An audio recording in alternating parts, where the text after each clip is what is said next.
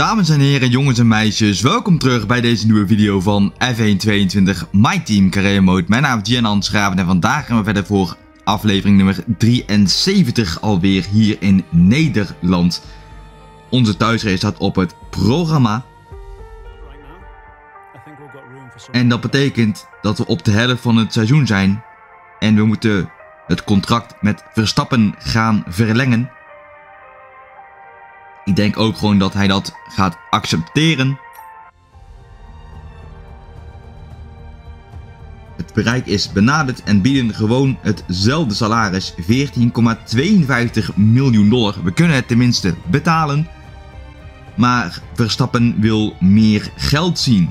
Van zo'n bedrag kan ik toch niet leven, jongen? Dus dan moeten we richting die 15 miljoen gaan. Sponsoren even vernieuwen. En dan het nogmaals proberen.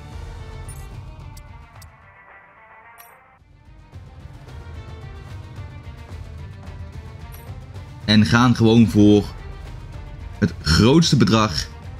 En Verstappen tekent bij. Hij gaat nu 15,52 miljoen dollar verdienen.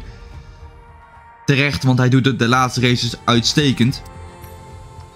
En we hebben nog geld over om wat aan de faciliteiten te kunnen gaan doen. We hebben ook heel veel R&D punten over. Alleen we kunnen niks upgraden, want we hebben eigenlijk al bijna alles geupgrade. Dus ja, dat is wat minder. En staan dus bovenaan bij de Vehicle Performance Comparison. Geen updates, helaas meegenomen. En met de thuisrace, dat betekent ook een speciale auto. Dat hadden jullie echt niet verwacht.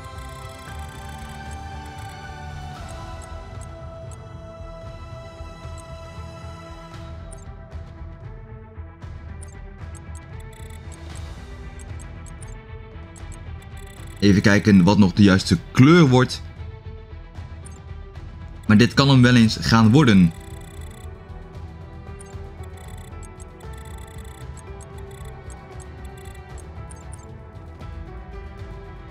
Ik wil namelijk ook niet dat de auto te veel op dit seizoen lijkt, op de auto van nu.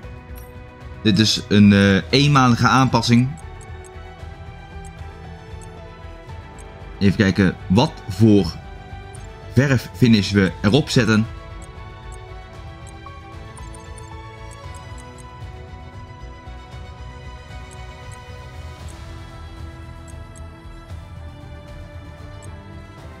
Kunnen we gewoon metallic doen. Dat het er wat ja, meer als een kleur eruit ziet. Top.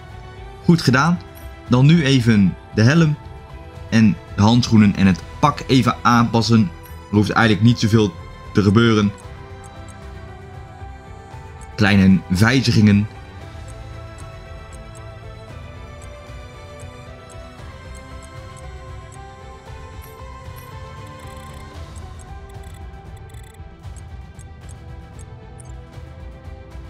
De Nederlandse vlag erin verwerken namelijk.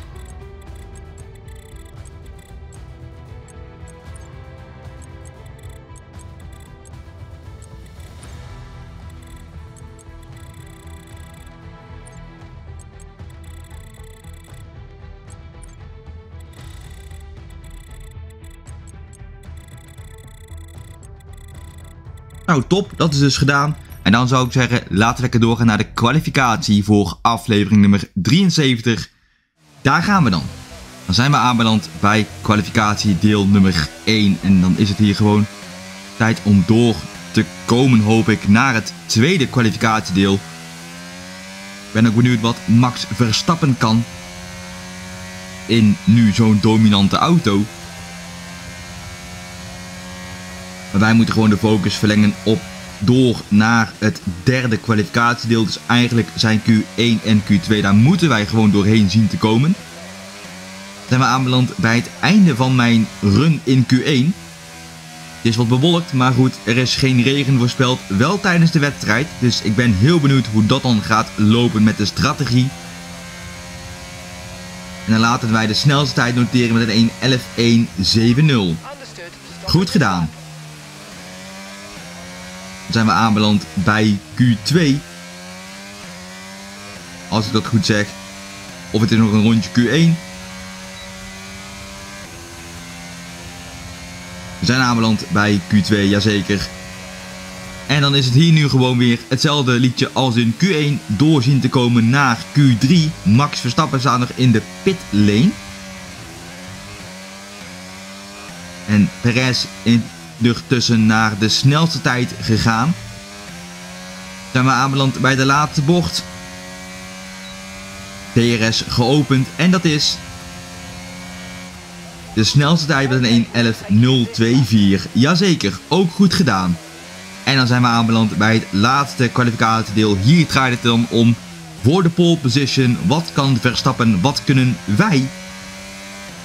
Hopelijk kunnen wij nu al een hele goede ronde neerzetten. Zodat wij niet meer naar buiten moeten en hoeven te gaan.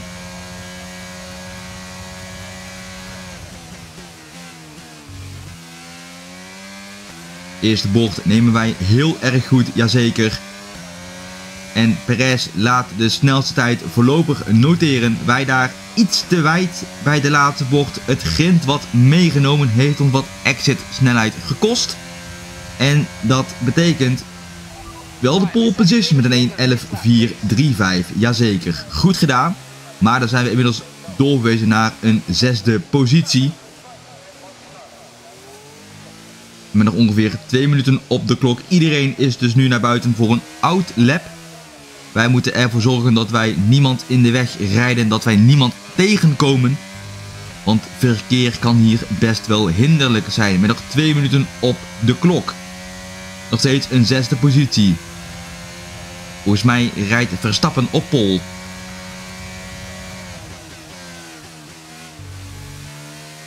Een hele goede eerste bocht, hè, zeker. Pakken er al gelijk een paar tienden. Maar nu weer dit rood. En dat betekent ook rood in sector 1, groen in sector 2.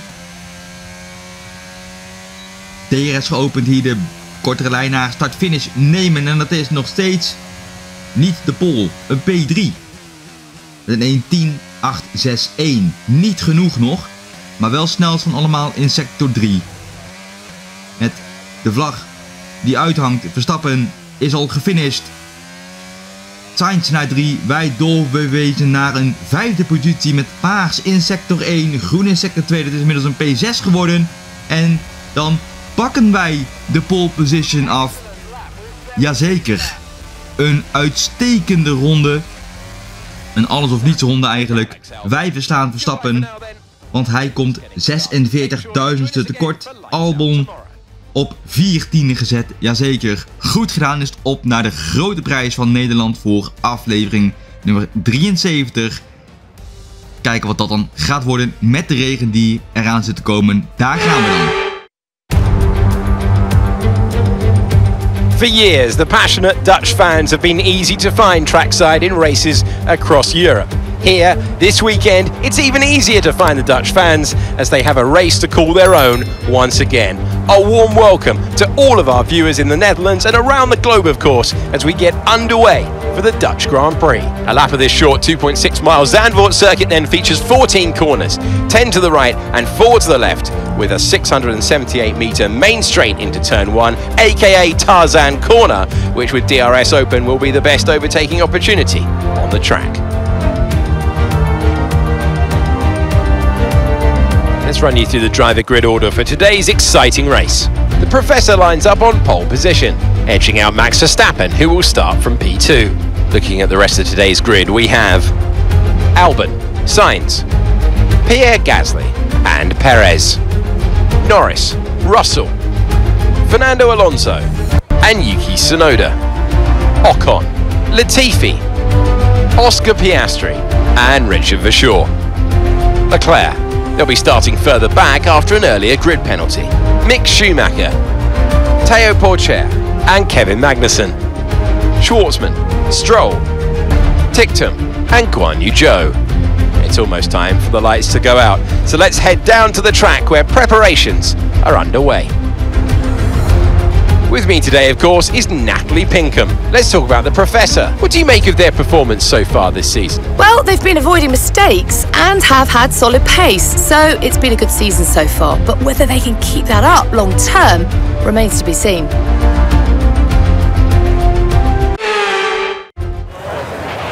I know this is your home Grand Prix, but treat it like any other race. Let's not make any unnecessary risks. moeten niet al te veel onnodige risico's nemen in de race. Ondanks dat het je thuiswedstrijd is. Voor Verstappen geldt dit hetzelfde. Voor Richard Verschoor geldt dit hetzelfde. De strategie is soft, medium. Maar in het midden van de race kan er regen komen. En die regen gaat ook weer weg gelukkig. De vraag is alleen hoe snel komt die regen? Komt het al in ronde 5 of in de ronde 10 of 15? Ik noem maar wat. Maar goed, dat zal niet al te veel verschil uitmaken. Want iedereen moet denk ik toch naar de intermediate. Maar eerst op naar de formatieronde. Ik heb voor de mediumband gekozen. Want ik weet niet wanneer die regen komt. Dus dan maar het zekere voor het onzekere nemen. Albon dus op P3. Sainz 4, Gasly 5 en Max op P2. Wij dus op pole position. Hadden daar per ongeluk de muur geraakt, maar het is geen probleem. De bewolking is er wel. Dat geeft aan dat er binnenkort, denk ik, regen gaat vallen. Achterbanden even heel goed opwarmen. En dan is het goed in de gridslot komen, jazeker. 0,1 meter er vanaf op het randje. Max op P2 dus, sluit mooi aan. En dan is het wachten totdat de laatste auto bij zijn positie is. En dan gaan we gewoon beginnen voor aflevering nummer 73 hier in Nederland voor onze thuiswedstrijd. Het team is een thuiswedstrijd. Max een thuiswedstrijd. Mijn thuiswedstrijd. Starten op pole position. De lampen gaan aan voor de grote prijs van Nederland. En ze zijn uit en we zijn onderweg en komen goed weg. Blokkeren dan gelijk Verstappen. Die probeert naar de binnenkant te kijken, maar lukt helaas niet. En verliest daarmee een plekje aan Alexander Albon. Wij zijn goed weggekomen op die mediumband. Goed gedaan, daar wel een klein foutje, maar het is geen probleem. Albon daar wel aan die buitenkant, maar wij duwen hem daar mooi bij. We zitten in ronde nummer 3 van de race. Als daar iemand gaat uitvallen, volgens mij. Er valt iemand stil. Een Haas valt uit. Of een Williams. Ik denk een Williams. Van Kevin Magnussen, jazeker. Uitvaller nummer 1. Heel vroeg in de wedstrijd. Dat is jammer voor de Deen. Wij is nog steeds aan de leiding. Gat naar Albon is 1.3. Naar Max is inmiddels 1.7. En naar Sainz is al ruim 2.9. 3 seconden ongeveer. Dus dat gat moeten wij proberen zien uit te breiden. Vanwege de regen die eraan zit te komen. En we zitten in de vierde ronde van de race. 1.5 seconden is het gat naar Alexander Albon. Dat is inmiddels 1.6.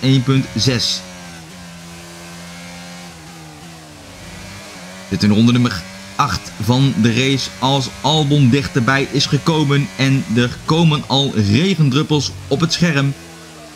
De regen gaat komen hier in Zandvoort.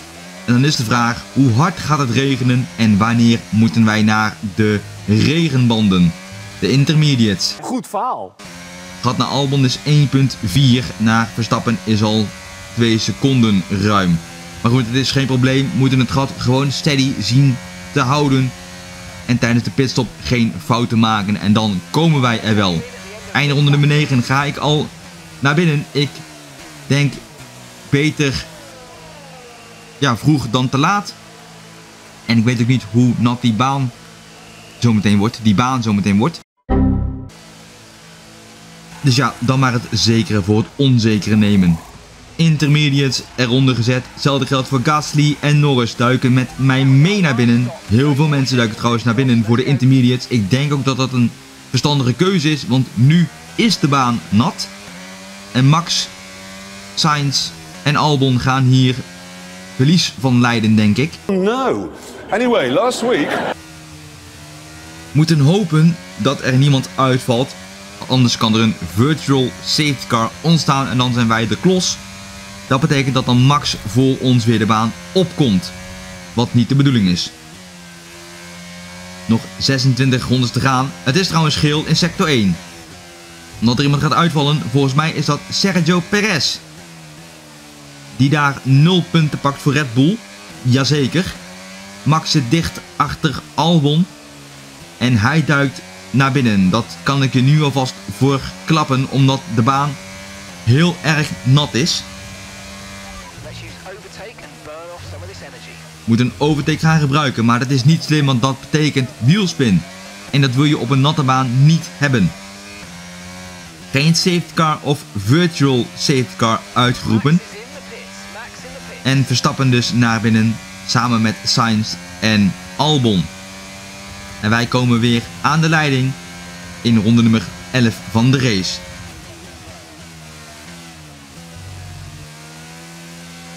Max weer terug op P3.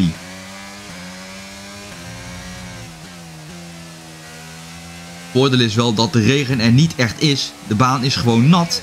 En in ronde nummer 29 is de regen alweer weg. En ik ga weer de gok nemen om naar de zachte band te gaan. Geen tijd verliezen. Dan rijdt Albon maar eventjes aan de leiding. En wij komen gewoon mooi voor Lando Norris weer de baan op. Dus een P4 kunnen wij hier sowieso halen. Perfect job from 2.4 een prima pitstop. Flink wat wielspin al te pakken omdat de baan nog nat is. De regen is echt sterk afgenomen. Een paar kleine druppeltjes nog op de lens. Maar goed, dat is geen probleem. Rijden op P3. En dan in ronde nummer 31 komen wij mooi voor. Albon en Verstappen weer de baan op. Stroll is naar binnen gedoken. En krijgt hier een blauwe vlag. En laat ons hier mooi voorbij. Jazeker, goed gedaan. Doet hij goed. Max moet nu wel even zorgen dat hij Albon passeert voor P2. Dat zou mooi zijn. Einde ronde nummer 31 als we daar de haas hebben van... Geen idee wie het is. Alfa Romeo van Robert Schwarzman. Ik dacht een haas, het is een Alfa Romeo en hij laat ons mooi voorbij. Doet hij goed. Max nog steeds op P2, zit dicht achter Alexander Albon. En dan hebben wij dan de volgende, is dan wel een haas. Ik denk van Guang Yu Zhou. Ronde nummer 32. En Verstappen moet nog die achterblijvers zien te gaan passeren. En jazeker, Guang Yu Zhou ook op een ronde gezet. Jazeker, goed gedaan. En nog drie ronden te gaan in de race. En Albon noteert even de snelste raceronde 1.13.010. Dus wij moeten nog aan de bak.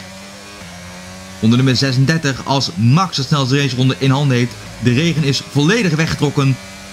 Bewolkte lucht, licht bewolkte lucht. En dat betekent dat wij hier de thuiswedstrijd gaan winnen. Max maakt er een dubbel podium van. Wij pakken ook nog even de snelste raceronde. Goed gedaan, is het op naar de volgende wedstrijd. Is race been amazing today, mate. You deserve that. Well done.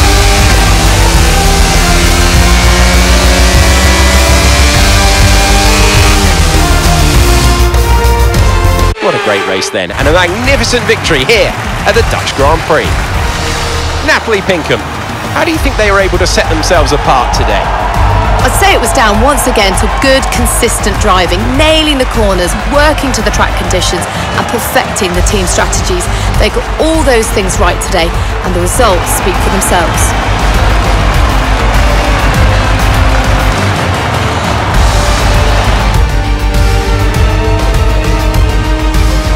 I'm thoroughly exhausted after the excitement of the race, but I'm sure it's nothing compared to our drivers here.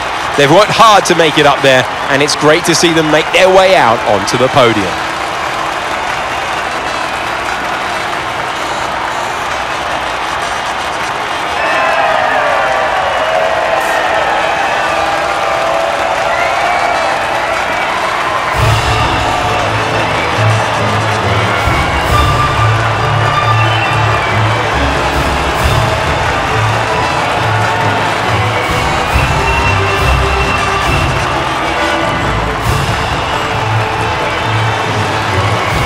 Nou, hier ben dan dus de uitslag van de wedstrijd. Wij winnen dus de grote prijs van Nederland. Pakken onze thuisoverwinning goed gedaan. Albon na PT, Max helaas een derde positie. Maar wel knap, toch nog een podium. Gasly naar 4, Sainz 5, Russell 6, Ocon knap van P11 naar P7, Norris 8, Alonso 9 en Yuki Tsunoda pakt dat laatste punt voor Alfa Tauri. Dat is dus de top 10. Jammer voor Leclerc. Toch nog goed gedaan van P15 naar P11. Vind ik knap. En dan even kijken naar de uitvallers. Twee uitvallers, Perez en Kevin Magnussen. Stand in het wereldkampioenschap 88 punten verschil naar Verstappen. En Albon pakt Leclerc voor P3. Wij dus nog steeds bovenaan in de constructeurskampioenschap 175 punten verschil naar nummer 2. En alle punten behaald. 23 tegenover 6. Jazeker, doen we goed. Team Acclaim is ook gewoon goed. Max is denk ik level 22. Even kijken. Nee, Max blijft nog level 21. Alle sponsoren de doelen behaald. 1,56 miljoen dollar erbij. Goed gedaan. En Max en ik hebben geen schade gereden. 100k erbij. Doen we goed. In totaal 4,28 miljoen dollar op de bank. Jazeker. En zo moeten we weer gaan sparen tot wij genoeg geld hebben voor de faciliteiten. En ja, dan zien we wel weer verder. Maar goed, ik ga deze video afronden mensen. Ik hoop jij genoten van deze grote prijs. Heb je genoten, beloon dan zeker met een like. Heb je niet genoten, dislike de aflevering dan. En vertel me of het niet leuk vond, ben trouwens nu op mijn gamekanaal. Abonneer je voor meer wekelijks F1 22 My Team content. Elke zaterdag en zondag om 1 uur een video. Dus schakel ook dat belletje aan. Zodat je altijd op de hoogte bent wanneer ik een nieuwe video upload. En volg me even op de sociale media. Mijn gebruik staat in de beschrijving. Het Schraven op Instagram, Twitter en Facebook. Dit was Giannan mensen. Tot de volgende keer bij een nieuwe video op mijn kanaal. Gaan we weer met meer Formule 1 content. Tot de volgende keer.